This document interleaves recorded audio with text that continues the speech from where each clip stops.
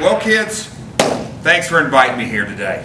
Uh, obviously, the word has traveled real fast of my newfound love of MMA, and uh, you know, I hope you guys, uh, you'll never reach my level, but you're, you're starting young, and, and you could aspire to come close to my level. We're not going to be doing uh, any karate today. We're going to be talking more submissions, more along the lines of, of what I've perfected, uh, what Samoa Joe, Kurt Angle uh, have attempted for their entire life uh, to gain the knowledge that I've quite frankly mastered in a matter of uh, weeks. Uh, first things first, I need to find out where you're at, where your skill level at. How, what have you perfected? What have you not perfected? Uh, who knows a move, whether it be a rear naked choke, uh, arm bar? Yes, I know the ankle lock.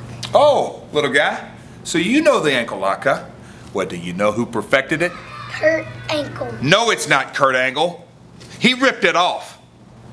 Ken Shamrock made it famous, but I perfected it. Well, why don't you put it on me? Why don't you put it on me? See what you got. See what you got. Is that all you got? Is that a What a wimp you are. Can you not twist any harder than that? Is that all you got? Harder. Get out here. Let, let me show you how this is done.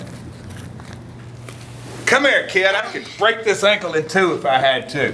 Come here. Get over here. Quit moving. Can you feel it? Well, tap if you can feel it. I don't think it hurts bad enough. I literally perfected this in weeks. This is an armbar, little lady. Can you feel it? Yeah. Can you feel it? Yeah. I perfected this move in two days. Tap that mat. This is a leg bar, kid. Can you feel that pain? Ow. Huh? Happy Thanksgiving, kids. You got an awful lot to work on.